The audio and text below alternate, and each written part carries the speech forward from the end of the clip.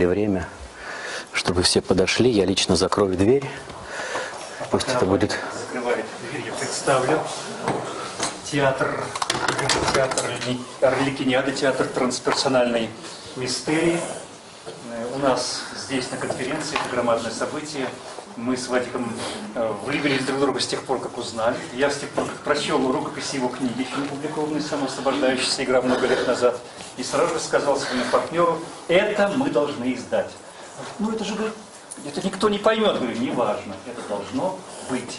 Книга была не только понята, но и благополучно раскуплена, и сейчас вышли, насколько я знаю, более популярные версии в нескольких частях, и все продолжается.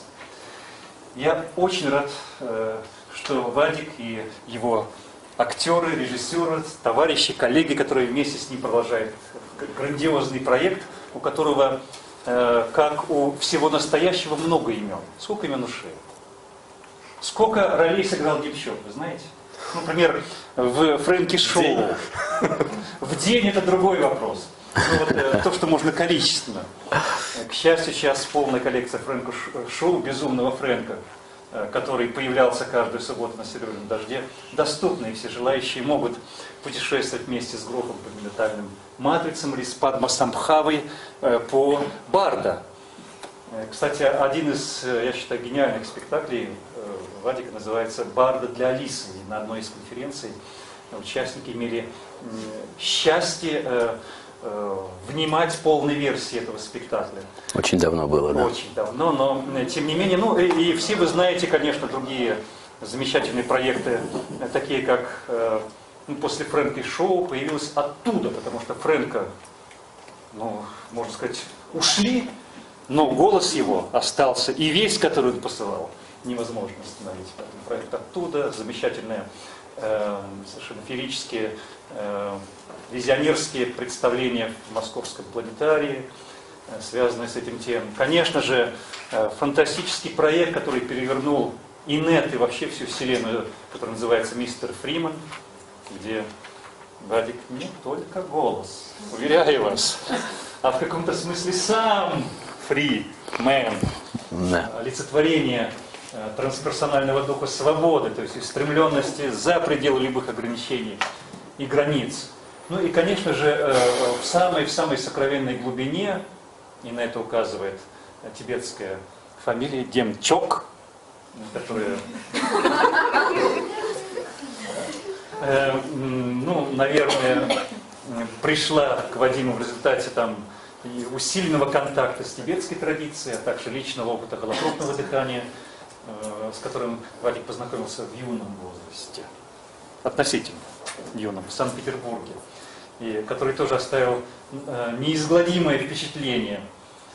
И все это вместе, наверное, вот э, и э, помогло тому, что вот из этой сплава, из, в алхимическом котле его жизни э, возникло э, такое видение судьбы человека как игры, которая освобождает, жизни человека, как через страдания, через театр, через выражение, через мучение, через проявление, через столкновение, через все это, тем не менее, сохраняя дух, детский дух игры, очарование, свободы и легкости, мы освобождаемся, мы растем. Вот э, что для меня э, э, Вадим Демчук, его мир, одно из названий которого Авликиниада, другая мистер Фриман, третья самосопождающаяся игра, Фрэнки Шоу, роли кожи-венеролога в известном и любимом многими сериале и так далее. Итак, Вадим представит сам своих друзей, коллег. Все сказано. До свидания. Э, на Алаверды э, нужно сказать несколько слов о Володе, потому что действительно э, он не упомянул только одну единственную вещь, потому что э, в момент, когда все только фокусировалось и разворачивалось где-то очень глубоко на территории какого-то внутреннего театра с очень трепетными, э, полными страхов и м, жажды реализации и только просыпалась и оформлялась, он э, э, не один из первых, а просто первый человек, который протянул руку и взял в руки текст э, и издал книжку. Несмотря на то, что э, все вокруг говорили о том, что э, это совершенно ненужная литература, никто не поймет и, и так далее. И когда она вышла, он сказал о том, что не волнуйся, э, сейчас реакции не будет. Реакция будет через 10 лет. И это его слова. И за это я, конечно же, э, бесконечно ему благодарен. И это вот один из тех существ, э, которых я готов защищать э, ну вот, до крови, да, с лопатой в руках, да, агрессивно и всячески, потому что таких людей, как бы судьбоносных, я думаю, что ни, ни в коем случае нельзя предавать. Хотя поиграть в предательство тоже иногда полезно. Да, но об этом мы Э, сегодня постараемся э, говорить. Я также счастлив, что э, уже стало традицией мое присутствие в этих участие в этих конференциях и горд тем, что с каждым годом мой эксперимент тоже наращивает новые мышцы, и я имею площадку для того, чтобы разворачивать результаты этого эксперимента, который нарастает, нарастает, нарастает. И это эксперимент исследования феномена феномена игры.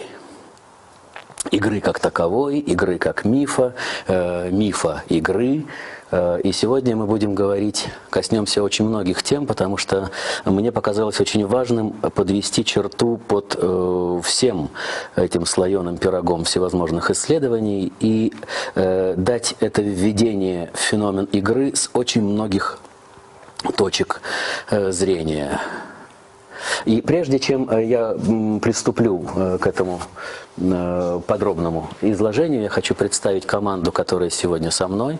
Андрю Шаланд, актер театра Орликиниады, и очень много всевозможных регалий, которые перечислять не буду, но я когда о себе тоже говорю, то мне не очень нравится перечислять регалии, а просто говорить, что я homo ludens, человек играющий. Да?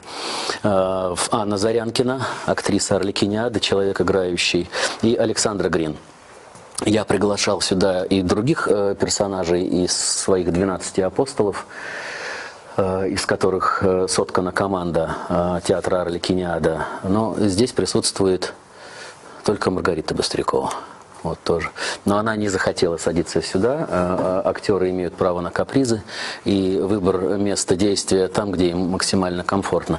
И на самом деле на этом построено э, все силовое поле наших э, внутренних процессов. То есть э, необходимости заставлять что-либо делать э, отсутствует но есть очень мощная э,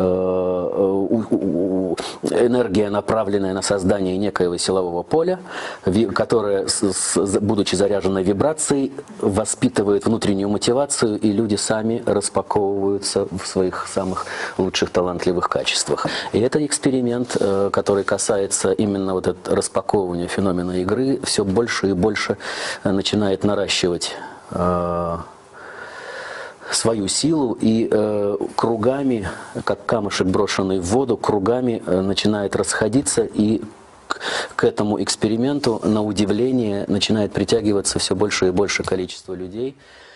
И сейчас, забегая вперед и э, делая это небольшое вступление, интригуя вас к вопросам, даже сформировался целый социальный контекст, когда, э, допустим, на территории компании Киви, в которой где-то около 1300 человек, организуется одна большая глобальная игра, когда бизнес погружается в игровую модель, и э, игра становится тем самым клеем, который склеивает мотивации огромного количества людей и наш слоган «Мир будущего будет э, сформирован как игра» обретает уже реальную э, реализацию. Мир будущего будет соткан э, будет э, сформирован как игра, как э, э, осознанное напластование огромных, огромного количества игровых моделей, и люди будут понимать, что э, играя, они, э, то есть играя, они увеличивают свою Э, радость жизни. Э, играя, они погружаются в контекст обостренного, радостного, восхищенного, заинтересованного, мотивированного, включен, вклю, мотивированной включенности в жизнь, тем самым максим, оказываются максимально полезными э, и максимально эффективными в той или иной структуре. А эти структуры могут касаться огромного количества пластов. Это и политика, это и социальные миры, это и бизнес, это и спорт, это и война. И эффективность э, при внедрении игрового феномена в любой социальный контекст, она распаковывает любой контекст и поднимает его на более высокий уровень. Да? И начнем мы с того, что я сделаю небольшое э, практическое введение – а потом главная задача этого введения э, воодушевить вас к вопросам, чтобы мы вышли э, в состояние интерактива. Потому что здесь уже нужна э, прямая передача, да, или конкретные э, распахивающиеся дверцы, через которые информация могла бы проникнуть в мозг, инфицировать и распаковываться уже в конкретном каком-то применении. Э, итак, что могут сделать э, самые ненужные существа в современном мире? Артисты, художники, поэты в мире, испещренном желанием зарабатывать деньги, да, так называемые шуты, они могут научить мир играть. Пробудить интерес к феномену, которому нас никто никогда не учил. И это единственное явление – в жизни человека, если вы мне подскажете, что еще может быть более фундаментальным и глобальным, то я с удовольствием склоню голову и прислушаюсь. Но единственное явление, которому только что распахнувшему глазки и увидевшему улыбку мамы или первый раз ударившему по погремушке э, человечку, э, э, что может быть э, более э, фундаментальным, чем игровой контекст. Это то, чему нас никто никогда не учил. Все остальные способы познания реальности, осмысления, вхождения в физический контекст, э, э, эмоциональный, интеллектуальный, все дальше расплетается с помощью игровых контекстов, э, всевозможных игр. Мы вовлекаемся в ту или иную игру взаимоотношений с руками мамы, с родственниками, детский сад, школа, и дальше идет целый пирог напластований всевозможного культурного наследия, этого огромного э, ведьминского котла всевозможных игр, входя и ныряя в, ныряя в который мы обретаем ту или иную виртуозность владения теми или иными правилами игры, и все более и более усложняя этот контекст, выращиваем понимание себя таким, какой мы, каким мы себя представляем. И если повезет, то рано или поздно мы все равно э, приходим к тому, что весь объем наших знаний и вся наша виртуозность владения всевозможными игровыми моделями – иллюзия. И как только мы понимаем, что мы всего лишь ролевая функция, которую играет ролевая функция, которую играет грандиозный актер, и мы же смотрящее пространство, которое сидит в зале – да, тогда эту ролевую функцию, перенося эту модель в жизнь, мы можем месить как глину, переписывать сценарий и быть очень эффективными в контексте э, игры на сцене жизни. Да, и в этом смысле театр обладает какой-то удивительной обобщающей метафорой. И недаром в восточных традициях театр как таковой отсутствует. Есть кукольные формы театра, а все остальное подчинено очень мощным религиозным системам и так далее. Но драматический театр или традиция, которая развилась в европейском контексте, такого нет. Да? Сейчас мы поедем э, с командой, опять же, в Камбоджу, и у нас обязательно запланировано посещение кукольного театра, а, а там Бирма, Камбоджа – это вот такие самые глубинные, развитые э, контексты кукольного искусства, где на рукоятках э, даже вырезают название божества, и это настолько слито с духовной практикой, и актерское искусство, оно, ну, это так, к слову. Э, э, я опять насладюсь э, этим удивительным феноменом владения вот, этим, вот этой метафорой, когда есть тот, кто смотрит, есть тот, кто играет, и то, перед, во что играют. И для того, чтобы прикоснуться к феномену игры, эту передачу феномена игры, можно сделать очень огромным количеством способов. можно сделать... Вам нужно выйти? Нет? Окей.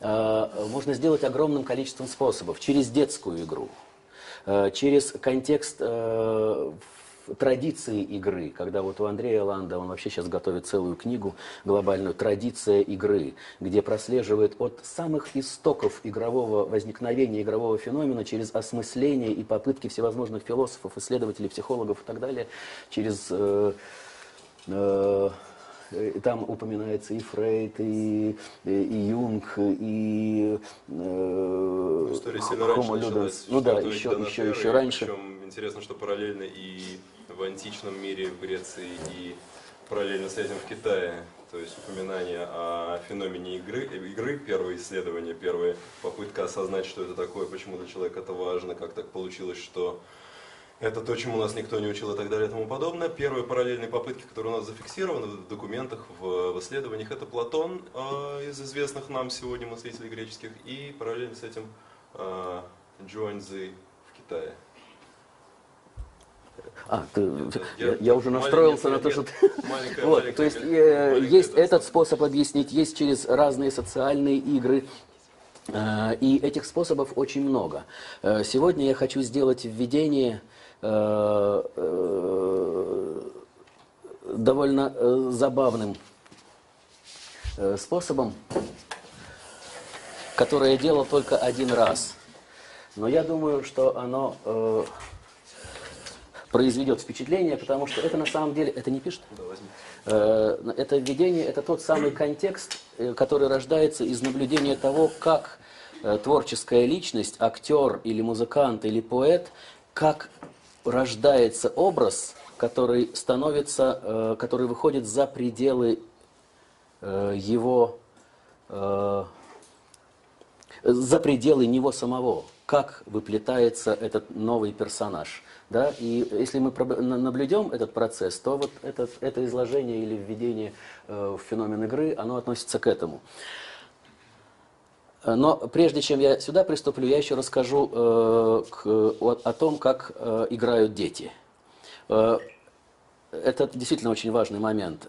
У детей всегда, если мы понаблюдаем э, за песочницей, в которой играют дети, помимо того, как они стукают себя э, совками по, по, по- по башке, ломая домики друг друга, и там ран- рано или поздно ор- организуется какой-то лидер, который очень сконцентрированно начинает лепить свою игру, и кругами вокруг него начинают фокусироваться другие дети, собирая единую одну глобальную игру. И это э, очень интересное наблюдение. Всем советую посмотреть, как возникают игровые модели в детских, в детских структурах. И в садике, и в песочнице, и так далее. Итак, у ребенка всегда есть э, какая-то палочка, тряпочка или э, какой- какой-то кусочек глины.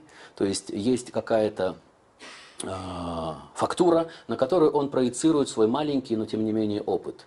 Есть кто-то, то есть он сам, как некая творческая личность, которая вкладывает в это энергию, есть нечто глубинное, что наслаждается этим процессом действия. Есть какой-то очень глубинный запрос, который рождается непонятно откуда, из пространства, сгущается в творческую силу для того, чтобы опрокинуть и воплотиться в какой-то ролевой функции. И эти три уровня, тот, кто смотрит, тот, кто играет, и то, во что играют, в его восприятии тотально неделимы.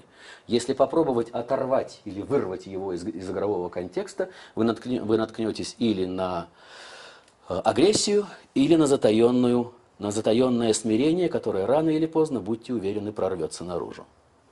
Да? И поэтому отнять у ребенка игру – это все равно, что вырвать его из э, контекста вот, необходимости познания себя э, в жизни, защитить себя от каких-то а, от э, настороженного или агрессивного мира и так далее. Итак,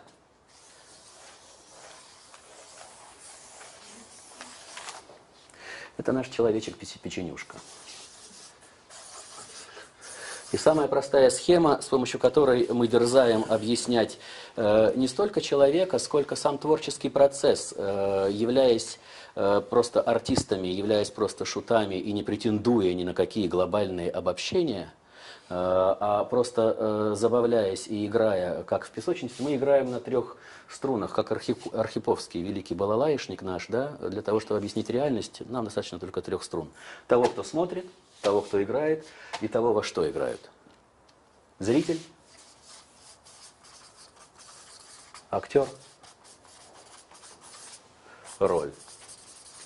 Весь 20 век был построен на том, чтобы расщепить театр как таковой. Зрители сажали на сцену, актеры выводили в зал, аннулировали и расщепляли и так далее. И весь этот театральный эксперимент, он настолько был испещрен вот этими всевозможными попытками что-то изменить и исследовать, что в итоге к 21 веку театр э, пришел к необходимости просто исчезнуть в пространстве, и все методы, накопленные на протяжении веков, вдруг стали вопрошаться на территории жизни. И это очень интересный момент. Э, сегодня театр как музейная структура уже никому не интересен. Он существует просто как фокусировка э, неких э, знаний, но весь мир уже превратился в сцену. Да? Но это особая, особая тоже лекция, о которой тоже можно очень много говорить. Итак,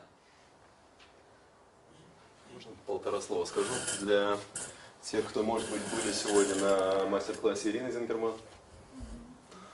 Если вы вспомните три уровня реальности, на которых э, по процессуальной традиции, контекстная реальность, сновидческая реальность, уровень пустота, пустота, полнота. И то же самое вы найдете у Стивена Гиллигана, если кто-то увлекается, может быть, читал генеративный транс его, да, о тех же самых трех уровнях реальности.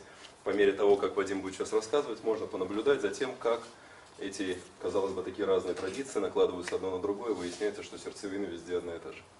Я не читал книг, которые читал Андрюша. Я не был на лекции э, этой э, дамы. Э, и тем не менее, расскажу то, как это практически функционирует в процессе актерского существования на сцене. И в итоге когда по, по, по мере того, как я буду это рассказывать, проецируйте на то, как это, возможно, функционирует и в человеке играющем на сцене жизни как таковой.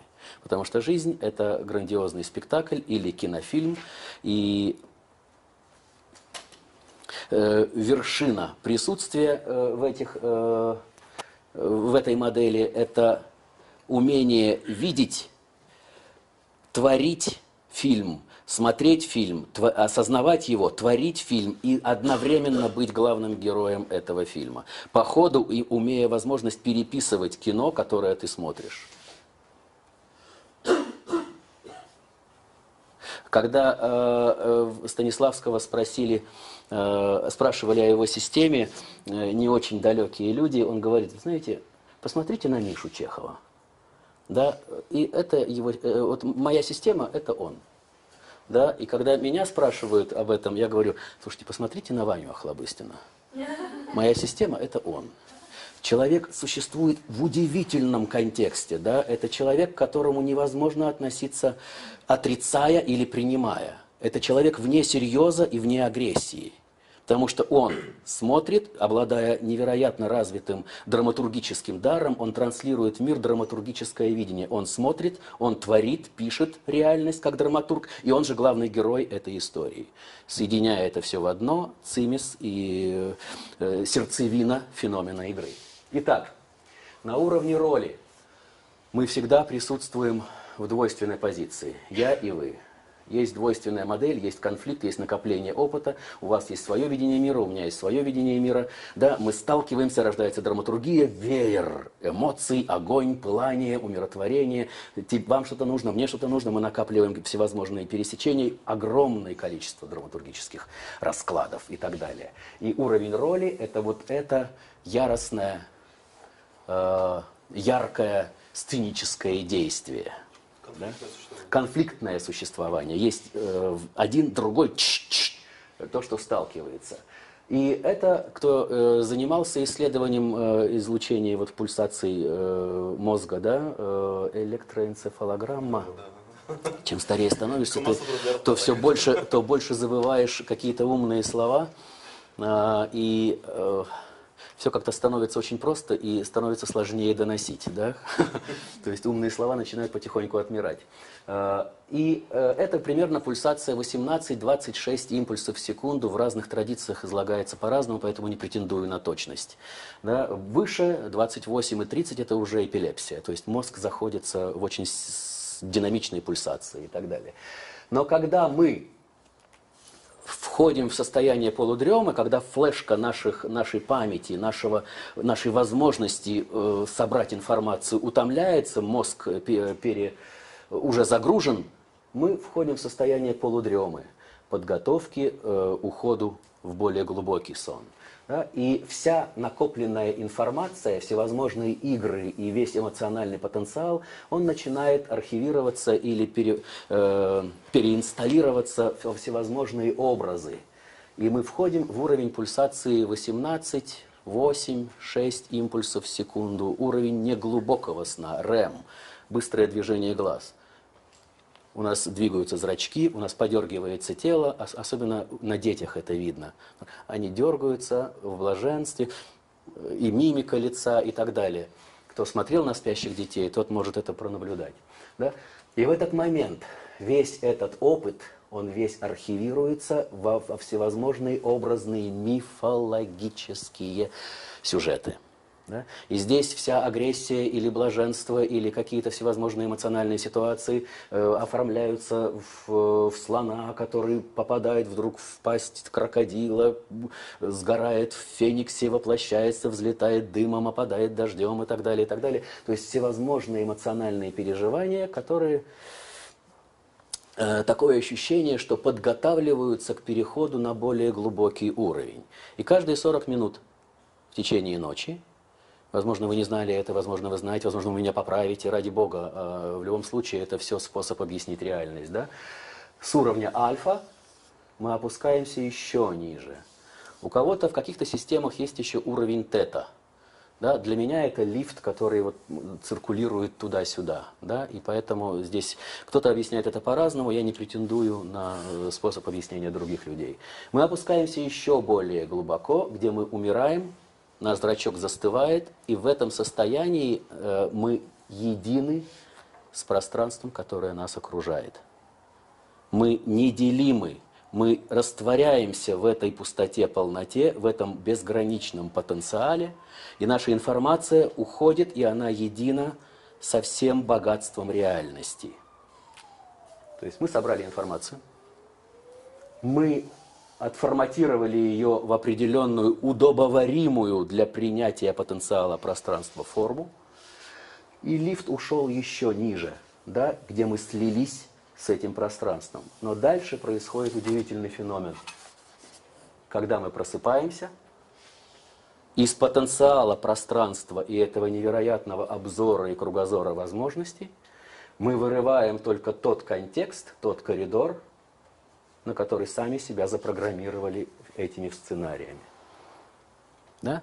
И рождается удивительный феномен, то есть мы, оказывается, никто не виноват, мы сами создали свою реальность, мы сами написали сценарий своей жизни. И это довольно трагическая ситуация. Потому что мы понимаем, что если мы сейчас отмотаем пленку назад и с драматизмом в глазах поймем, что каждый день начиная с рождения, на руках у мамы, у бабушки, у дедушки, у папы, э, отсутствие папы, агрессивная мама, обиженная, обиженная среда э, в семье, а, всевозможные драматургии, садик, школа, брошенность, одиночество, первые драматические ситуации э, в отношениях с противоположным полом, бла-бла-бла-бла-бла-бла-бла-бла, это можем мы наращивать и наговаривать, и каждый раз – Накапливая этот потенциал, мы засыпаем и загружаем флешку, отпуская в пространство эти, необходимые, эти сценарии и выхватывая тот коридор, который сами, на который сами себя запрограммировали. И в какой-то момент мы не можем выйти из этого коридора, понимая, что эти возможности и эти возможности для нас не существуют. То есть мы сформировали свою ролевую функцию, не понимая, что есть потенциал гораздо более глубокий, как этот механизм работает, и остаемся на этой абсолютно ограниченной плоскости, той ролевой функции, за пределы которой, как в пьесе. Извините, но автор написал так, вы должны сказать эти слова. Ну хорошо, я скажу эти слова. Да? А я не могу уже говорить, я уже перерос эти слова. Я уже не могу говорить, например, только о гендерных отношениях в контексте брака – Потому что, извините, но вокруг так много красивых женщин. да, и возникает очень мощный конфликт, особенно у мужчин, у женщин как бы другая э, активность, хотя они тоже приходят к необходимости того, что надо отпускать. Если хочешь, чтобы человек был с тобой, надо отпустить. Да? Ну, есть другие сценарные ходы. Э, это опять же интригуя э, и забрасывая крючок к вопросам. Если хотите, поговорим об этом. Да? И в итоге выплавляется очень... В итоге выплавляется очень странный пласт. Да? Мы э, оказываемся вот в этом ролевом воплощении – и где-то у, у всех по-разному, но тем не менее 26-28 лет возникает первый протест, первый э, запрос в том, что что-то не так.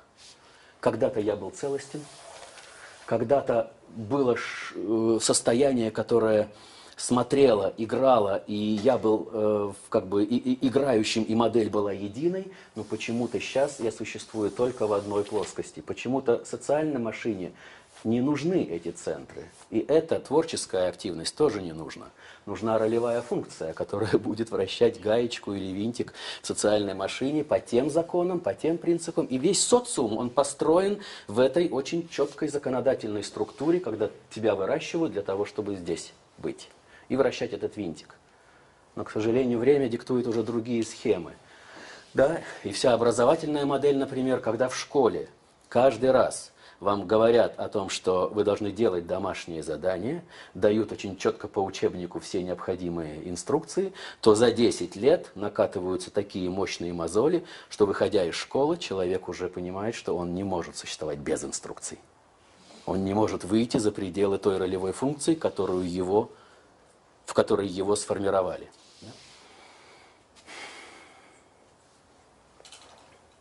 Естественный вопрос – а как же, что же мы нужно сделать, чтобы изменить ситуацию?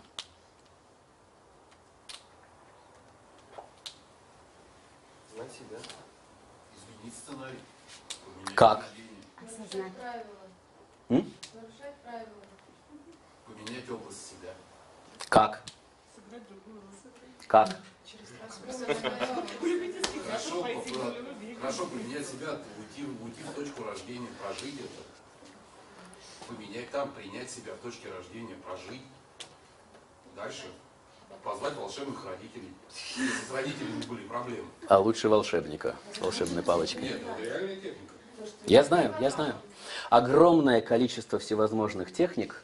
И э, то, что делаем мы в школе игры, это ни в коем случае не placement, да? Это но э, и меня, и команду, которая меня окружает, очень сильно воодушевляет э, то, что действительно, оглядевшись на веер всевозможных методов, которые озадачиваются этим вопросом, а что же делать в этой тотально безвыходной ситуации? И есть очень разные подходы, есть эмоциональные подходы, есть интеллектуальные подходы, есть интуитивные подходы, есть то, что стреляет прямо сразу в подсознание, есть ну, веер этих самых технологий действительно невероятен.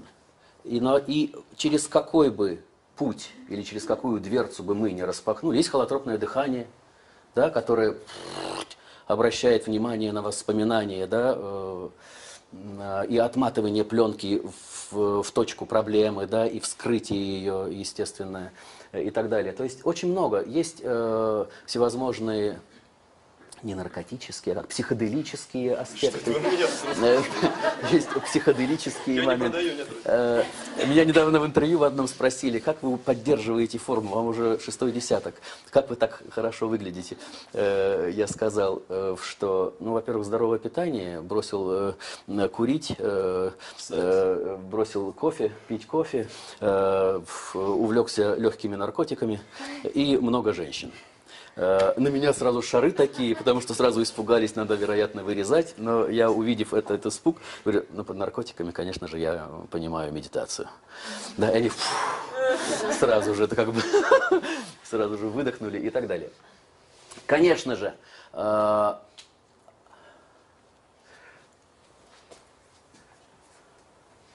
необходимо понять то, что в этой точке перелома когда происходит архивация опыта, и все медитативные техники, они э, апеллируют к этому. именно в точке альфа, когда мозг находится в полудреме, когда он достаточно успокоен, когда он не зашкаливает и не заходится в, в эмоциональном э, горении, да, именно в этой точке загружать определенные программы, которые будут уходить в подсознание, и распаковывать наше видение реальности, снимать шоры и дарить нам образ себя, который гораздо шире и понимает, что мир гораздо предоставляет гораздо больше возможностей, чем нас приучили это делать. И тогда из этого огромного спектра возможностей мы начинаем выхватывать эти возможности, и наш мир становится богаче. И все медитативные техники, особенно э, то, что, э, о чем сказал Володя, э, и у меня мой вход в эти традиции, ну так сформировалось именно в судьбоносном контексте, хотя, потом я расширял эти все, этот круг знаний, он больше всего, конечно же, сфокусировался через тибетский буддизм. И через алмазный путь, через дзогчен, через веер всех этих методов, которые потихоньку, э, оказываясь в театральной среде, я стал трансформировать и делать более удобоваримы- удобоваримыми для европейского сознания. И у меня даже есть целый цикл, у нас есть даже целый цикл медитаций, которые очень напоминают медитации дзогчен и алмазного пути, но тем не менее это уже какой-то, вероятно, шалость и наглость э, использовать мощь этих традиций, но преломлять их уже для европейского сознания и вписывать их в контекст именно европейского видения. И здесь я, конечно же, апеллирую, я понимаю, что я нахожусь в среде людей, как бы знающих и начитанных в этой области, и здесь э, меня, конечно же, подпитывает дерзость, что мудрость недво- э, недвойственности, которая перешла в какой-то момент под давлением мусульманства, ушла из Индии э, вверх э, в Гимал- за Гималаи, в тибетский котел, каменный мешок, да, или ушла э, в другом, в другом направлении в Индокитай, да, но под воздействием мусульманства э, эти знания были выдавлены. В какой-то момент они там созревали, обрели свою невероятную форму, законченную под тем, что мы сейчас понимаем под э, тибетским буддизмом. Китайцы выдавили это все э, из э, Тибета, это ушло все на Запад. И точно так же, как буддизм трансформировался, перейдя тибетский котел, смешавшись с Боном и с всеми этими э, ну, довольно э, с- странными языческими практиками, да, точно так же, совершив прыжок на Запад, он должен трансформироваться, он должен перейти в эту испещренную зрелищностью, очень мощными аспектами искушения и всевозможной изощренности, да, э, среду, и он должен принести здесь э, совершенно другие всходы. Это мой концепт. Э, Я в него играю, мне нравится этим воодушевляться и оправдываться в своем преступлении, то, что я, взяв контекст буддийских медитаций и этой традиции, я невольно вынужден трансформировать их для того, чтобы делать доступным для сознания ну, во-первых, для артистического сознания, который очень настороженно и дистанцируется от всего экзотического, да, и с другой стороны того запроса, который э, от них все равно транслируется. И в моем контексте эти знания, они смешались с параллельной линией алхимических всевозможных э, практик, э, и вот э, создали эту форму, которая объясняет реальность именно таким способом. Алхимических каких? М? Алхимических практик, что вы имеете в виду? У меня есть целая лекция на этом. Сейчас я не буду в это углубляться, ладно? Я прошу прощения. Э, Итак, если мы, э, успокоив ум и обучившись маломальски, э, мало, маломальски удерживать э, сознание и не заваливаться в сон, и в то же время не выходить на уровень мельтешения мыслей и всевозможного творчества эмоциональных состояний. И действительно, допустим, в простейших практиках, сконцентрировав внимание на кончике носа и начав считать дыхание, и присутствуем в этом состоянии и умеем загружать некоторые программы, например, медитации на повелителя игр – э, которую используем в частности мы. Повелитель игр – это персонаж, который со- соединяет и знание об уровне действия, уровне конфликта, умение видеть себя в россыпи ролевых возможностей, одновременное знание подключенности к творческой потенции, умение лепить эту глину, да, и одновременно к уровню, подключенным к уровню глубокого сна. Да? э, зритель, актер, роль сливаются в повелителе игры в один единый конструкт, опрокидывая на себя который мы э, от- испытываем отождествление с повелителем игр, мастером, который присутствует в единстве того, кто смотрит, того, кто играет и того, что играется. Вадим, а, только ну, маленькое уточнение. Повелитель игр это не некое божество, на которое молится и приносит ему жертвы, нет. Ну, чтобы просто понимать, это вы так не сказали. Это именно я, уже достигший совершенства, я мастер. Как бы я медитирую на себя в уже достигший уровень мастерства, там, стопроцентный просто. Такая... В том понимании слова совершенство мастерство, в котором каждый Ну да, каждый, себя каждый понимает. Ну, когда мы делаем введение в курс медитации, медитации школы игры, то мы всегда говорим о том, что это и есть квантовый скачок. Я уже тот, кем хочу стать. Да? И на самом деле более скоростных методов, э, исследуя довольно большой спектр всевозможных предлагаемых на рынке э, духовного развития практик, я не ушел, не нашел.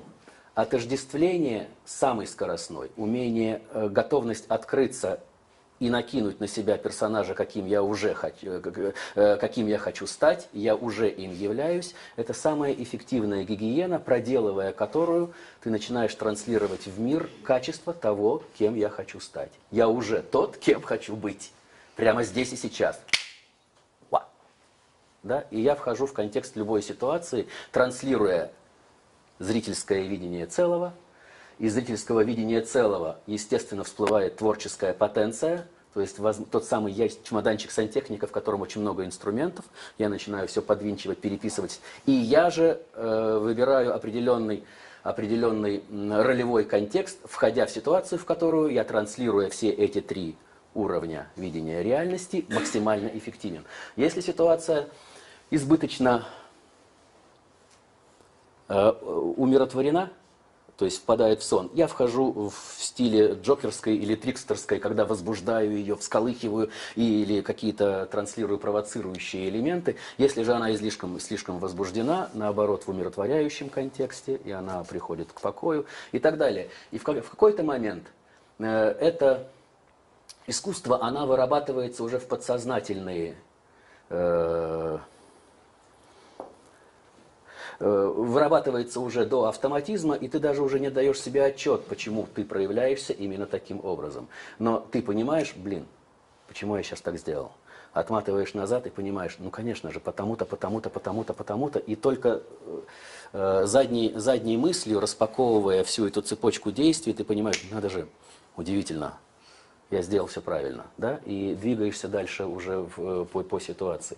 И так формируются вот эти силовые поля, которые сейчас транслируют такую невероятную эффективность, начиная с Орликиниады, э, выра- выра- э, э, трансформировавшись потом в школу игры, и это один такой большой тренинг, спектакль, да, в котором э, каждый из членов моей команды протаскивает каждого участника, этого 40 или 70 человек, через черную дыру их страхов.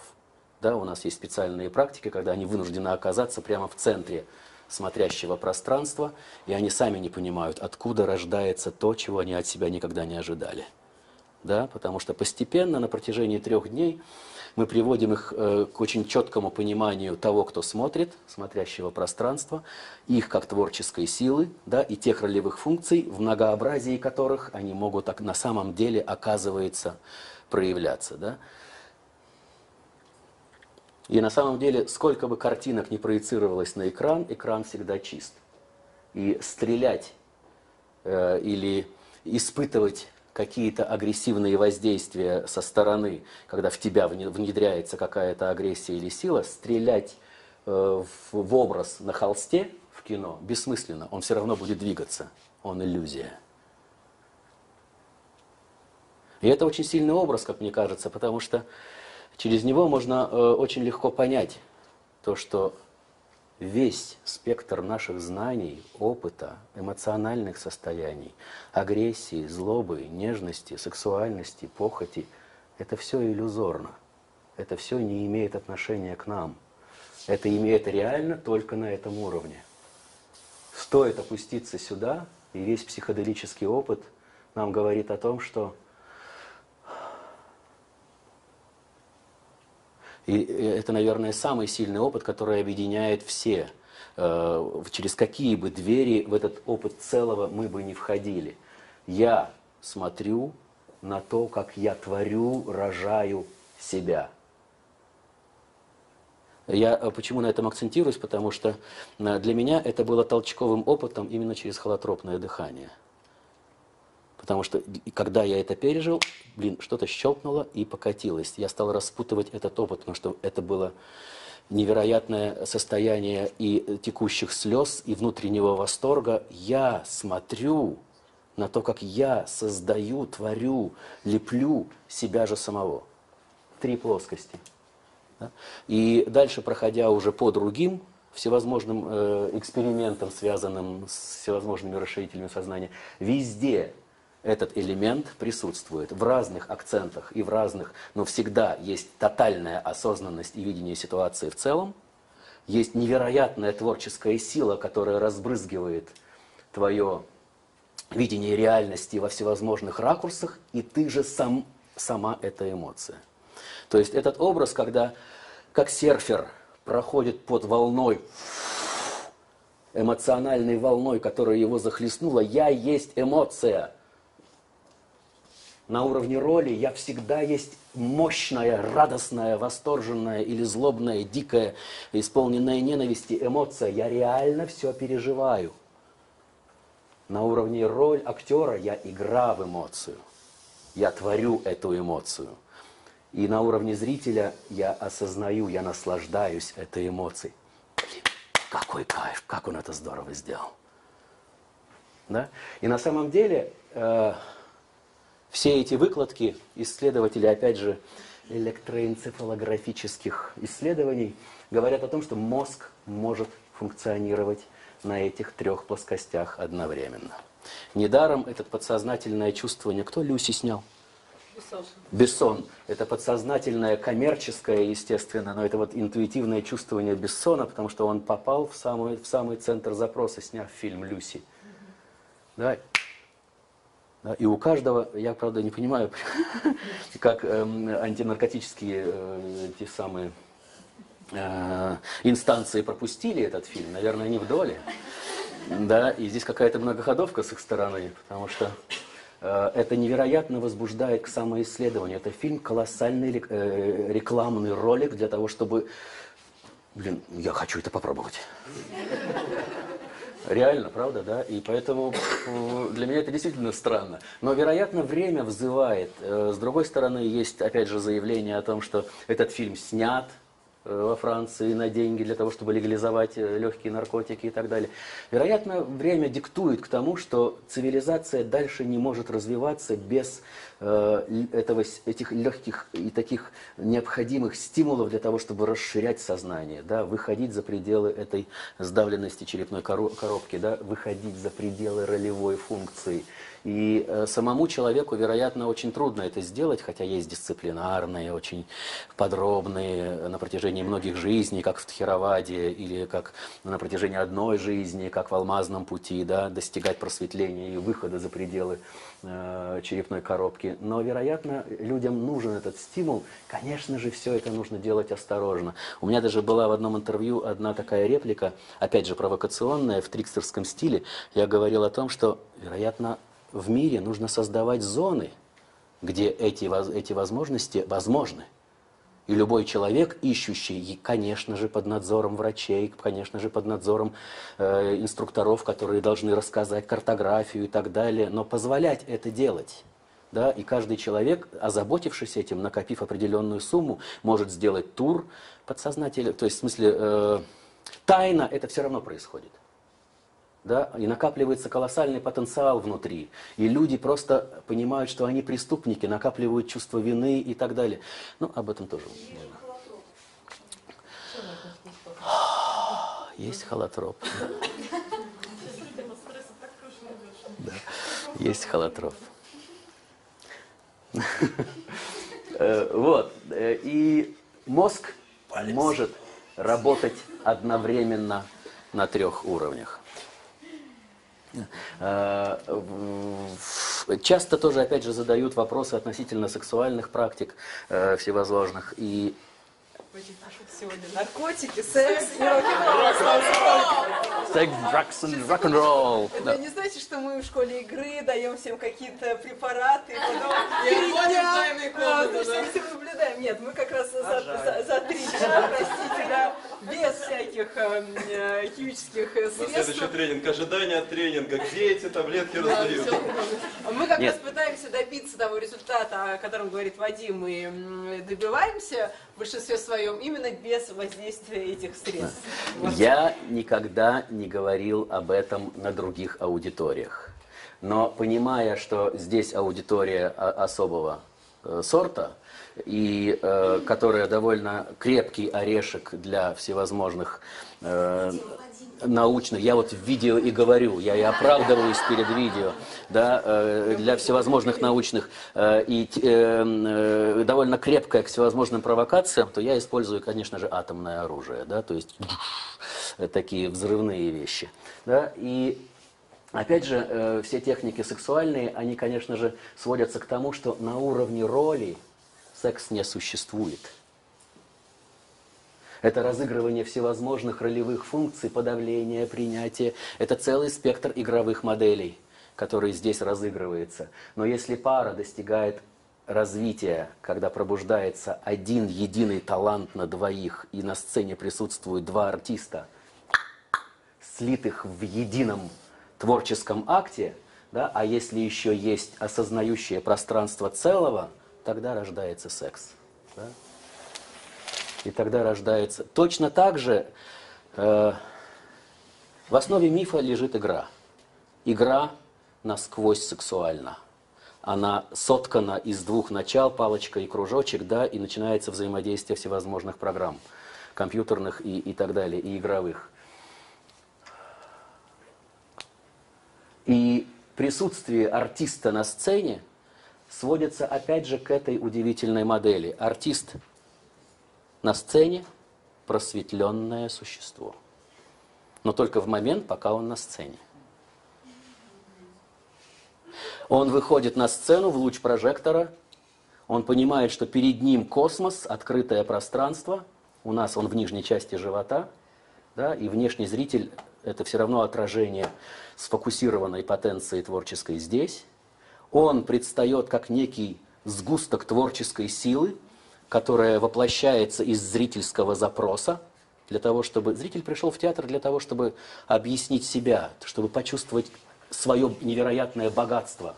На сцене появляется воплощение творческой силы, которая готова пока продемонстрировать ему его богатство. И творческая сила рассыпается во всем многообразии ролевых возможностей, конфликтных ситуаций, чш-чш, сталкивается, зритель смотрит и, блин, как во мне всего много. Вот театр, вот театральная модель. Да?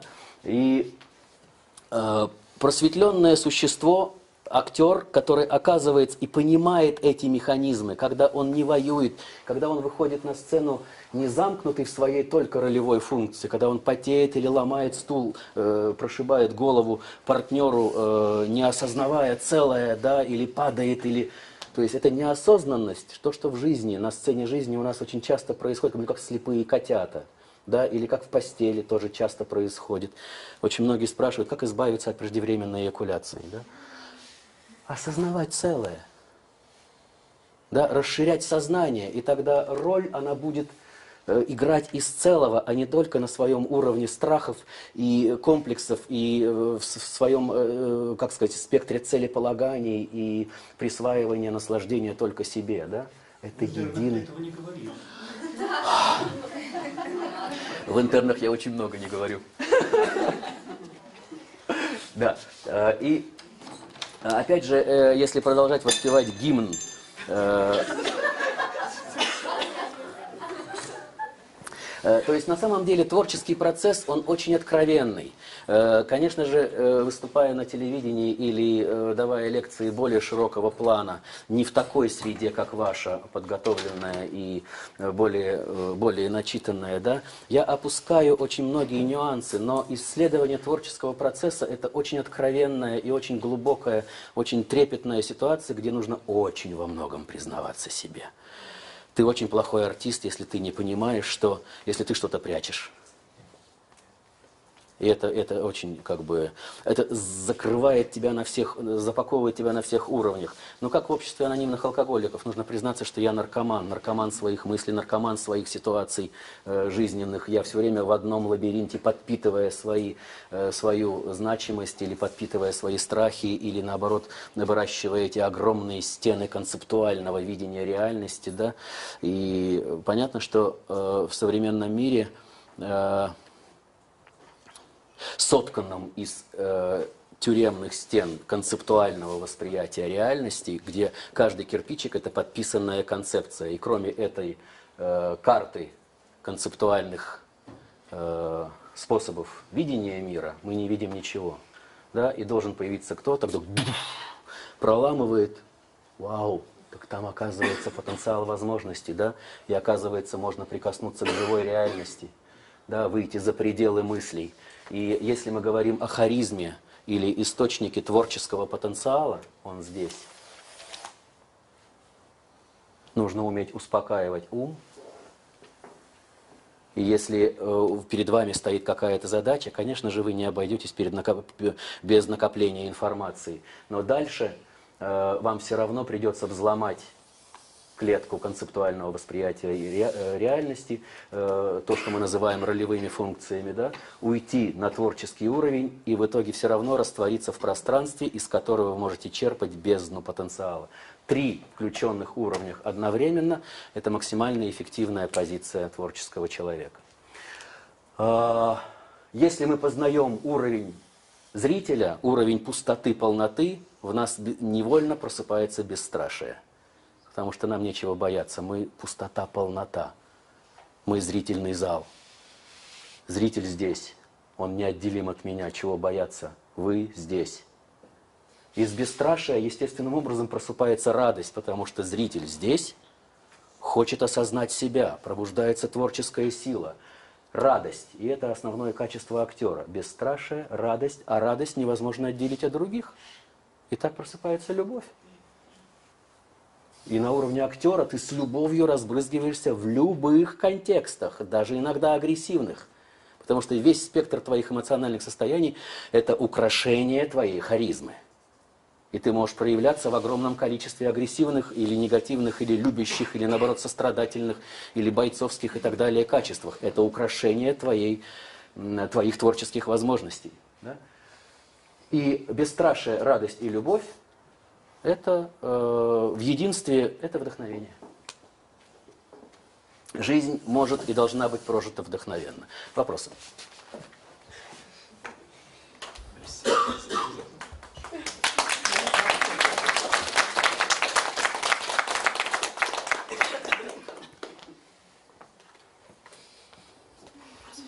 Вопросов нет, спасибо. До свидания.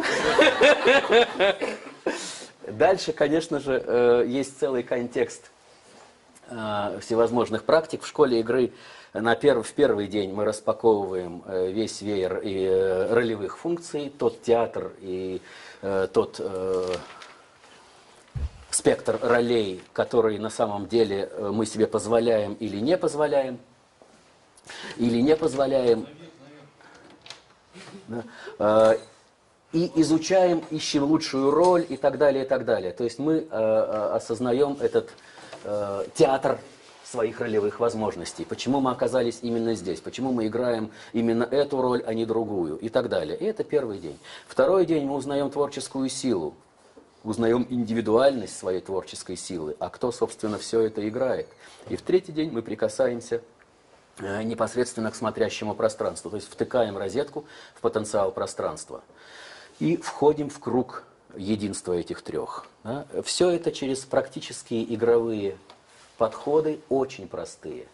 Э, и очень часто, я часто это озвучиваю, э, э, ко мне подходят и говорят, ну это же совсем просто, я понимаю, что будет. Я говорю, вы сделаете. Когда к Мирхольд пришел один актер, это был помнишь, когда я упал с такого-то этажа, мама подлом... подмихнула, я подмихнул ногу. Как его зовут этого? Не знаешь? Э, а, актер Мирхольда. Вспомню, скажу. Да, и Мирхольд ему сказал, посмотрев на него, невзрачный, толстенький э, артист, он говорит, знаете что, Э, Пойдите на сцену, заберитесь на колосники и вот встаньте вот здесь. И смотрит на него испытующий. Он говорит, а? Побежал. И он кричит ему, я вас беру. Когда он спустился, к нему пришел, а почему вы меня взяли? Я вам ничего не читал, не показывал. Вы просто сделали, что я сказал. Это, это, э, как бы, это вот э, актерский наив, нужно просто войти в практику, и дальше все распутается. Да? А, И люди из этих простых, наивных, детских фактически игр, раскладов получают э, инфицирование и понимание того, что такое роль, что такое актер и что такое зритель. И потом мы учимся соединять все. То есть схемы очень простые, но э, понимая на очень простых методах и играх эту единую модель, дальше начинается удивительное приключение, когда люди интегрируют этот опыт уже в более сложные игровые структуры, на самом деле разрушая свои старые схемы. И здесь начинаются удивительные откровения. И э, один из э, таких распространенных методов, когда мне пишут, Вадим, спасибо вам огромное, я наконец ушла со своей работы.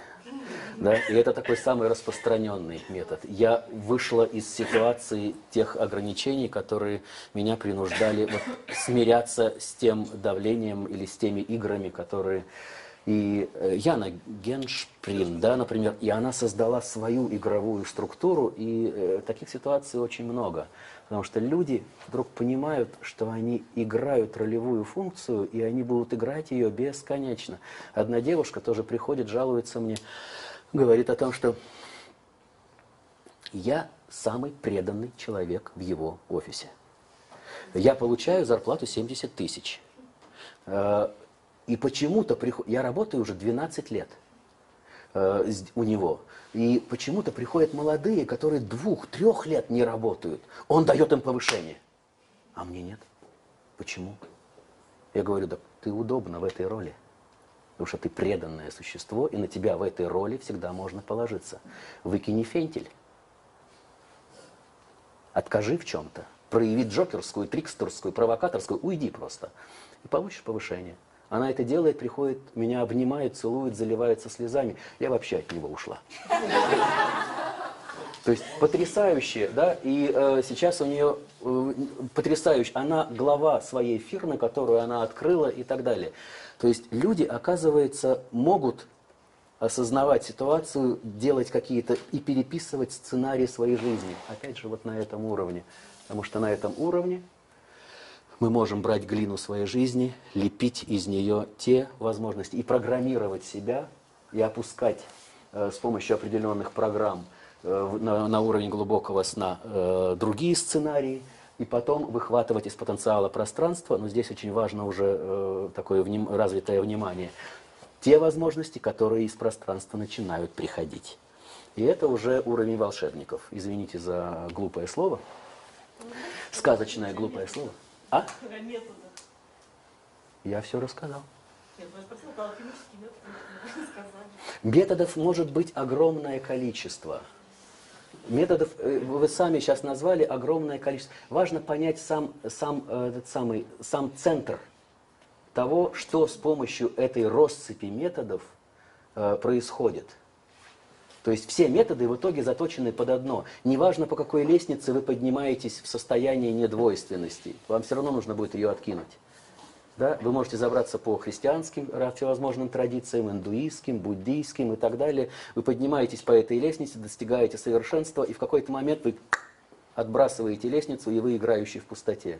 И вам уже не до Бога, вам уже не до разных пранаям и так далее. Вы просто играющий в пустоте. Вы сгущаете и растворяете. Safe et coagula. Алхимический термин. Как. Да. И вот сейчас, э, вероятно, такая ситуация э, в развитии всех этих духовных практик, когда весь накопленный опыт, он сгустился к тому, чтобы определить центр того, как это работает. Да? За э, эм, расщеплением всех этих, а традиций огромное количество. Да? Но все они ведут к, одно, к одному, да? и это игровой феномен. Вот амбиция, которую, с которой мы выходим на рынок.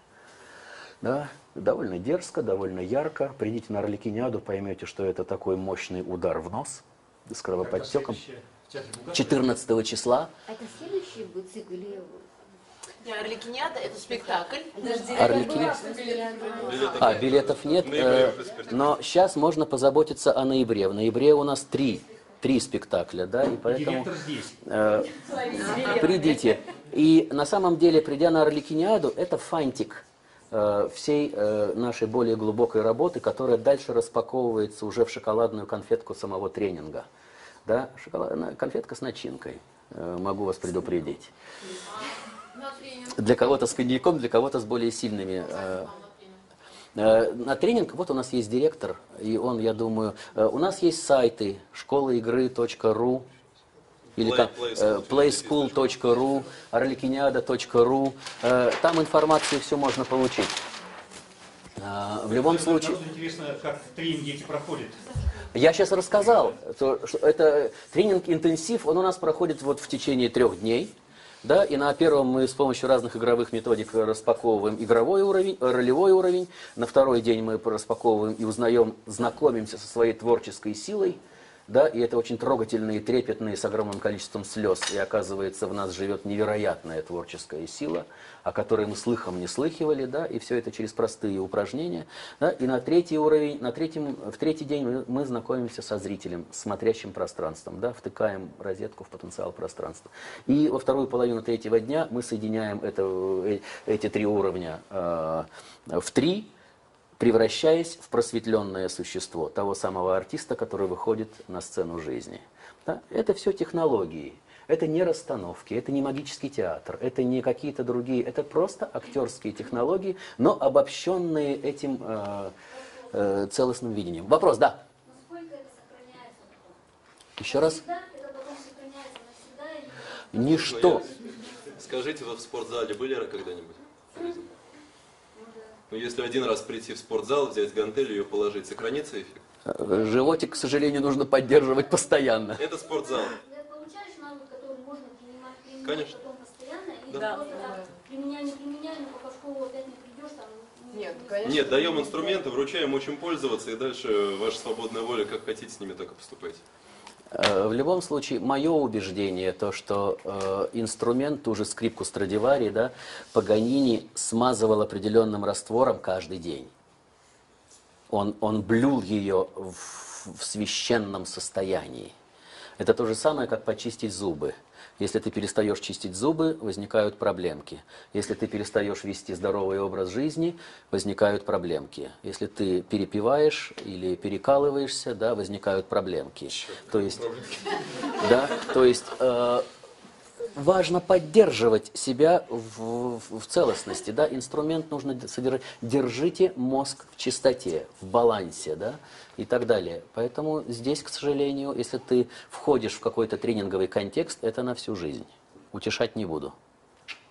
Ну, я знаю, просто я к тому, что некоторые бывает так, что... Но если вы мне приведете пример, Годы, да, Да. например, и тогда ну, это состояние переходов таких, оно как бы становится, ну, вообще легко. А некоторые...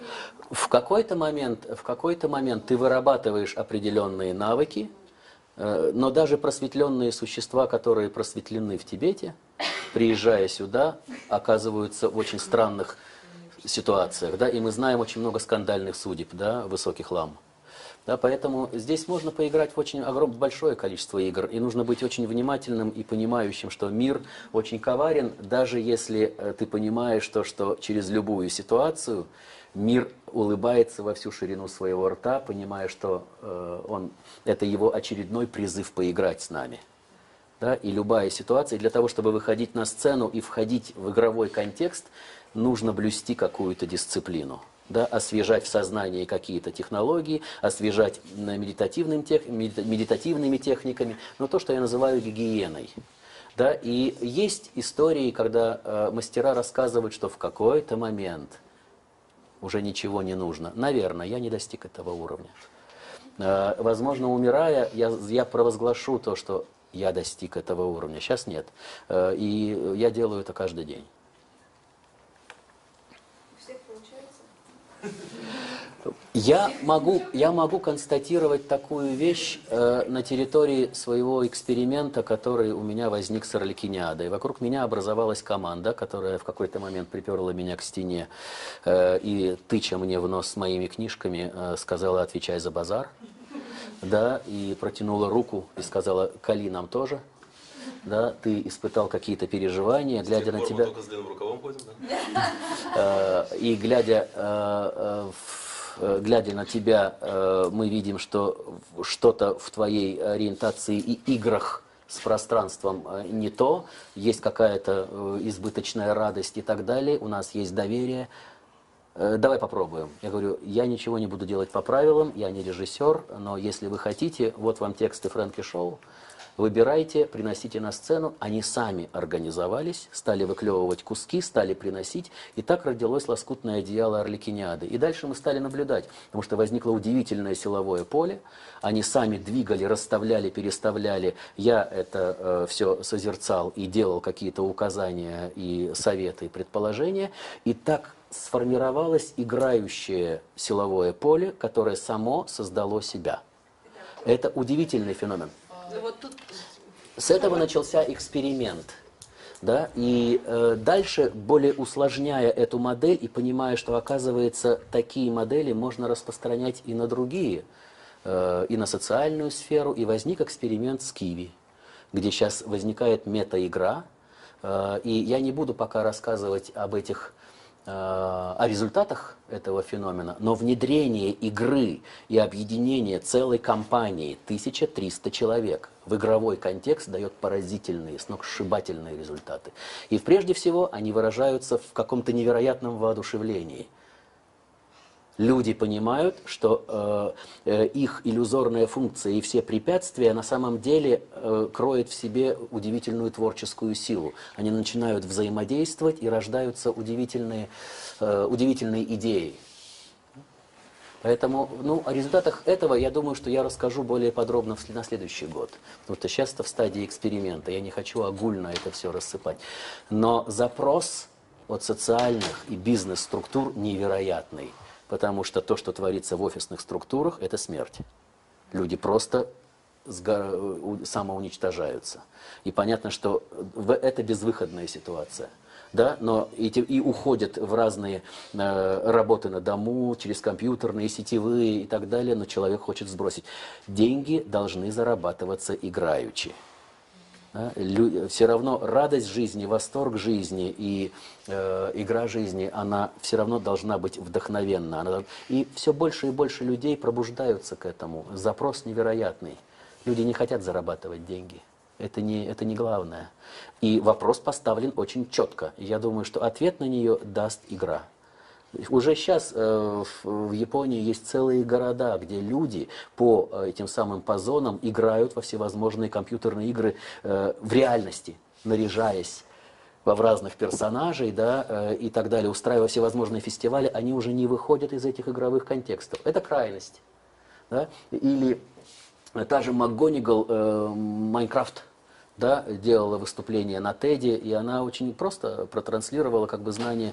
Она говорит, давайте посчитаем, сколько людей играют в игры. Тот же Майнкрафт. Давайте посчитаем, сколько времени они тратят на компьютерные игры. И там исчисляется миллионами и людей, и часов. компьютерная игра. Майнкрафт, компьютерная игра, из кубиков составляется реальность, люди строят свои миры. Там утопают на годы люди. Это нормально вообще, что вот играют эти игры? Да, вот, сейчас, сейчас я расскажу. И она, человек, который создал из коммерческих как бы, соображений эту игру, совратил огромное количество людей, вырвал из реальности. Она вдруг выходит на сцену Теда и говорит, а теперь давайте, вот посчитав, сколько потенциала творческого горения, интереса сливается в унитаз. Да? Давайте создадим игры, которые были бы нацелены на, социальные, на решение социальных проблем.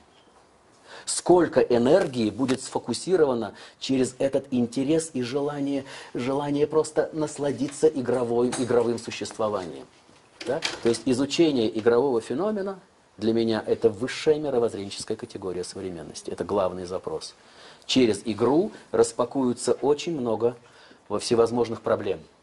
Да? Потому что все равно, э, листая и проведя очень много тоже времени в исследовании всевозможных и в накоплении информации в психотерапевтических контекстах, я пришел к выводу, что все, помимо только вот, может быть, Миндела и там вот, э, и же с ними, и трансперсональных разных уровней, все занимаются решением проблем уровня роли. Не все, не все. Есть э, выходящие и выходящие на этот уровень, и духовные практики, касающиеся более глубоких. Есть, есть. Но в целом психотерапевтический контекст, он весь почему-то базируется здесь и очень редко уходит. И вот лекция, о которой сказал Андрей, вероятно, она тоже уже описывала ситуацию. И сейчас огло- огромный запрос. Здесь, здесь не решается, здесь не решаются проблемы. Это понятно. Да? Ответ? Окей. Ну то, что... ой, сейчас, секунду, то, что... Простите, был вопрос, если получается у участников там... э, мы наш тренинг начинаем с фразы, то, что мы ничему не можем научить. Человек сколько приходит, ну если он приходит с запросом, да, меняться, брать, ну, это понятное дело, он приходит и берет. Мы создаем, ну, мы максимально пытаемся создать ту атмосферу для того, чтобы человек мог за эти три дня максимально себя помять, э, посмотреть, поисследовать. Мы даем именно за эти три дня некий такой камертон вот этого ощущения, с которым он выходит в жизнь. Как говорит Вадим правильно, что мы не несем ответственность дальше за его жизнь, мы даем вот этот вот вкус ему почувствовать. Вопрос о том, получается ли вот сам, сам результат, это очень забавный. И к вопросу о запросе. У человека, вот он, допустим, почитал какие-то книги Вад- Вадима, и пришел, у него один запрос. Он пришел на Орликиниаду, посмотрел на нас, у него другой запрос. Он просто, ему нравится Вадим, как доктор Купитман, ему просто хочется с ним сфотографироваться, он приходит на тренинг, это другой запрос. И каждому по, Да, да, по запросу воздается, грубо говоря, на этом тренинге. Но самое смешное, что э, Самое смешное, что человек пришел, допустим, с минимальным каким-то запросом, не имеющим к нам никакого отношения, просидел все три дня, ну там ничего не записывал, особо не участвуя, и вдруг в конце третьего дня понял, что что-то происходит. Он как бы смотрит на этих людей, понимает, что там какой-то с ними происходит фокус, с ним не происходит, у него там что-то, да? Да, и такие да. люди чаще всего, мы- они приходят в другой раз, и мы их видим уже совершенно другими глазами. Вот пришел человек, уже в третий раз, он уже с самого начала полностью включен, и у людей, от- вот, э, ну, как бы я по себе могу сказать, на которых изначально смотришь и думаешь, как, что, это там? И вдруг третьему дню, вот если у него такой сильный запрос, с ними происходит, ну, ну, это правда, удивительные вещи. Да, ты Само- смотришь и не веришь своим глазам, да. Тогда, когда он уже созрел к тому, что он хочет. из- И вот все, кто созревает, все, кто приходит за чем-то, они это получают, это точно. Ну, инфицирование происходит как бы. Ну, в общем-то, с этого и начинается тренинг, то есть с уровня мотивированности. То есть у нас даже есть целая выкладка. Люди, за- регистрируясь на тренинг, они пишут, для чего им это нужно. Да, они формулируют это. Да, или, по крайней мере, им ставится такая задача. Я просто защиту компьютерных игр хотела сказать, что, ну, в принципе, как бы я занималась, э, ну, скажем так, была участницей проекта, где создавали свой мир, связанный с, э, с сновидением. Вот. И в связи с этим там читала статьи и так далее. Так вот, у людей, которые играют в компьютерные игры, у них вот эта вот тема выйти из э, ролевых тоннелей, она как-то происходит сама собой. То есть, кстати, один из методов, э, как вырваться из этого. В частности, это отражается на сновидениях. Кстати, ну, по-моему, это в книге Стэнли Крипнера была статья по поводу того, что люди, играющие, ну там, по-моему, про Warcraft кон- конкретно, не про Minecraft, а про, про Warcraft, что они начинают спонтанно видеть осознанные сновидения. То есть человек начинает играть, он понимает в какой-то момент, что он находится в роли, и у него включается, как раз видит уже смотрящий, и э, включается тема о том, что, видите, ну это не я, я никак не могу быть, а значит это сон. И мы попадаем как раз во вторую роль. Абсолютно. У меня сейчас абсолютно такой опыт, и я сейчас очень интенсивно наблюдаю за своим девятилетним сыном. Э, Первая история, которую я хочу обратить внимание. Я прихожу с ним, ему пять лет. Э, Я прихожу за ним в садик, открывается дверь, они э, с друж... у него есть друг негритенок Джастин, да, и они строят кубики, где-то метр полтора от земли. Джастин теряет равновесие, падает, начинает выть, зверски ударился бедром. Вильям подбегает к нему и, и орет, сыграй это, сыграй! Откуда он это всосал, я не знаю, да, из пространства каких-то вот наших, э, нашего семейного круга, да, из папиных увлечений и так далее. Сыграй это, переведи болевое ощущение в игровую плоскость, не тебе больно, роли больно. Они умеют уже, они этим уже владеют. Мы вырастили уникальное поколение. По старым схемам их уже, с ними уже не договориться. С помощью этих, этой гаджетомании, интерактивных компьютерных игр они обладают другим сознанием. Я, например, убежден, что им не надо читать. Не надо насаживать книжную вот эту эйфорию, в школах заставлять, у них другое восприятие, они уже э, работают на других скоростях. Да, это компьютер, им нужно подавать информацию на совершенно других. Но это мое мнение. Я его ни в коем случае... Я им ни в коем- Я просто отслеживала, ну, реально, то есть людей, ну, точнее, это были подростки, ну, это уровень сына, собирала сновидения иг- игроманов. Ну, в общем, это довольно интересная картина. То есть для них выйти из ролевой, из ролевого туннеля вообще не представляет, скажем, труда. Он говорит, ну я же тут играю, почему я не не могу играть э? Опять же, второй случай, опять с Вильямом, да, он у нас вырастает в актерской вот этой вот, вот этой среде, и каждый раз, когда уже с детства, с трех, двух, там вот, он в- просто в этих методах, в этой среде, это мой большой эксперимент. Я, честно говоря, на свой страх и риск, не знаю даже, чем это закончится, да, но мне кажется, что это выращивание психического здоровья в человеке, да. Каждый раз, когда его захватывала какая-то эмоция, мы с Вероникой погружали его, указывая, ну, вот, в осознание, указывая на то, что это не ты, это кто в тебе, что это за ролевая функция. И мы давали ей название. Когда в, в- в- э, магазине он начинал биться, валивший, валясь на спину, требуя игрушку, да, мы дали имя этой ролевой функции. И таким образом, освободив его от чувства вины, никто его никогда не наказывал. И в какой-то момент это выработалось, что ловя этот нюанс, когда этот, э, э, как же мы его назвали, э, уже забыл. Э, ну, допустим, допустим, э, допустим, Джонни, да, когда Джонни его захватывал и, и он уже ловил, папа, опять Джонни пришел. Я говорю, ну это же не ты? Нет, это не я. Вот, но ты же знаешь, что с ним делать. Да, я знаю, что с ним делать, пойдем. Да? И весь спектр его, этих самых нежелания делать уроки, мыть посуду, убирать комнату и так далее, да, все вот эти капризы и все болевые ощущения, это все как бы вот упаковывается в инкрустацию вот этого театра ролевых функций, в которых он вырастает. С мамой он один, с папой он другой. Он уже это расщепляет. Он сумасшедший. В хорошем смысле. А? Это же осознанно. Это осознанная, это осознанная шизофрения, да, э, если говорить на этом языке. Но бо- более страшно, если шизофрения неосознанна. И она возникает, потому что мы создаем поколение multiple personality, неосознанных э, людей, у которых, которых разрывают на части невероятное количество ролей. Если мы за собой понаблюдаем, то мы сами увидим, что мы сотканы из огромного количества ролевых возможностей. Сейчас здесь мы одни, э, в туалете мы другие. Э, С мужем мы третьи, с ребенком пятый, с мамой, с папой и со, со всей, во всех других ситуациях, с гаишником мы третьи. Хотя мы едем за рулем, что я никогда этому, этой Варе не дам денег. Гаишник, на, поехал. Да? Как ролевые функции меняются. Да? Или когда мы въезжаем в зад кому-нибудь, да, и, блин, и начинаются эти разборки, эти вызовы, какая ролевая функция. И как только мы затачиваем взгляд в наблюдении, из каких ролевых функций мы ткемся, мы понимаем, что, блин, э, люди, которые прошли школу игры, они ведут дневник ролей. И они начинают записывать уже после второго дня. Да? И приходя потом снова и снова, встречаясь или ведя переписку на форуме, в Фейсбуке или там где, на ВКонтакте, э, эта страничка, они описывают, мы сейчас даже хотим сделать целую книжку выпустить, из каких ролевых функций ткется реальность. И они пишут, какое, до 200 ролей у на- они насчитывают, да, персонажа. Вот, да?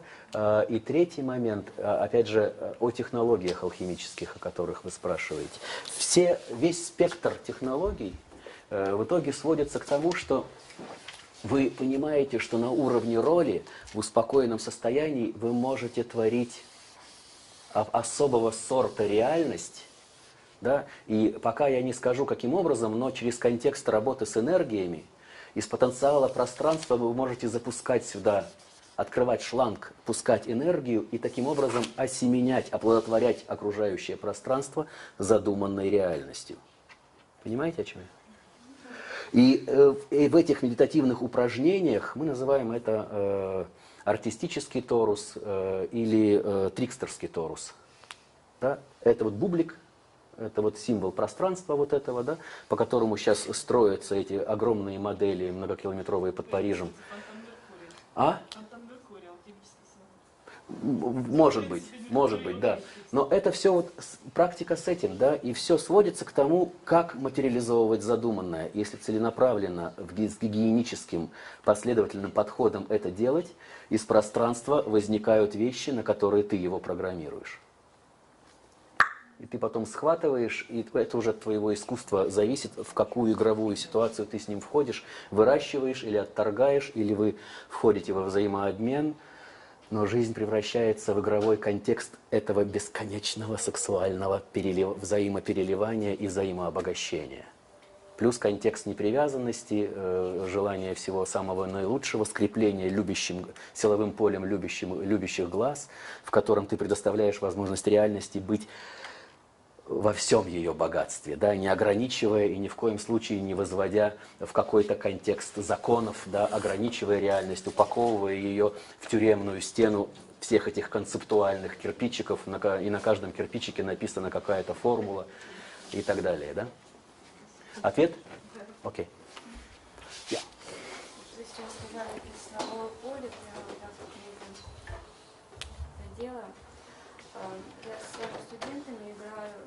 я куратор, там делаю курс, мне нужно, чтобы группа была такая сплоченная, вот, для хорошей учебы.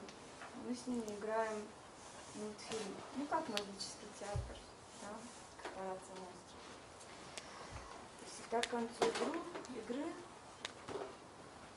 в помещении возникает вот, вот силовое поле. Я только сейчас поняла, что оно смотрит ну, под вашим Я рад, что вы подчеркнули что-то полезное, я рад.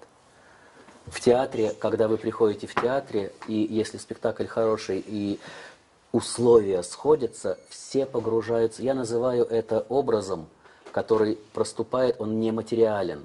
Образ – это то, что соединяет в себе смотрящее пространство зрителя, творческую силу актера и все ролевое многообразие. Да? И именно это ощущение, эту вибрацию, вне каких-то концептуальных слов, концептов, смыслов, мыслей и так далее, именно это ощущение вот этого целого да, зритель уносит.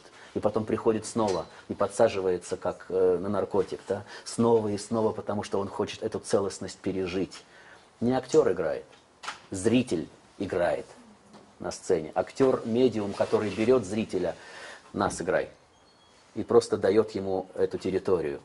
И зритель заливается слезами, и умиляется, и восторгается, и в конце забрасывает цветами и хочет поцеловать ноги актеру за то, что, блин, он, он наконец-то пережил. Кто-то показал ему его богатство. Он оказывается так богат, он оказывается так вдохновенен и так мощен, да? Вот искусство театра, да?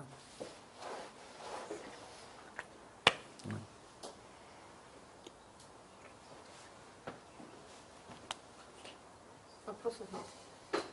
Это хорошо, что вопросов нет. Ближайший тренинг в Москве. Placement, да. А я даже не знаю, когда. Мы сейчас едем в Камбоджу. У нас удивительный... Мы начинаем, мы начинаем удивительный цикл путешествия по местам силы э, с- со школы игры. Э, и первый наш выезд, который мы спланировали, это Камбоджа, это Ангкор-Ват. Мы четыре дня проводим и прикасаемся э, к вечности, так сказать, и чаруемся этими энергиями, да, и потом э, перелетаем на берег океана, и там у нас курс медитации школы игры. Шесть основных медитаций. Э, Вы хотите починить замок? Нет. Все. Да, да, да. Наверх, наверх. А, В общем, кто хочет присоединиться, welcome.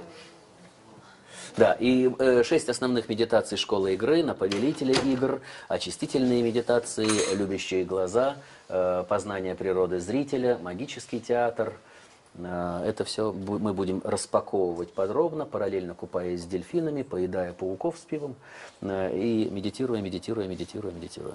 А речевые, двигательные и дыхательные практики так. Возможно, мы прикоснемся к тому же самому Торусу, но это зависит от команды, насколько, от- от- от- от- еду едешь. Да. это зависит от готовности э, как бы, команды, которая поедет с нами. До свидания. Так сказать, по поводу речевых практик э, в школе игры, м, поскольку мы используем актерские технологии для того, чтобы людей протащить через этот опыт, о котором говорил Вадим, а, а актерские практики, они подразумевают под собой очень активную работу с голосом, с дыханием, с пластикой и с воображением. И поэтому к нам иногда приходят люди именно с запросом вообще по поводу ораторского искусства, ну, например, вот, и используют этот тренинг для этого, потому что в течение тренинга мы даем на упражнения, э, на- нами же наработанные актерами технические, просто для того, как быстро, там за 10 минут перед тем, как выступать в большую аудиторию, подготовиться относительно голоса, дыхания, энергии и так далее. Ну, то есть это тоже вот там есть у нас. Все, в заключение я опять же хочу склониться перед Володей Майковым, что он делает вообще возможным э, это все, проделывает его работу. Володя, спасибо огромное тебе.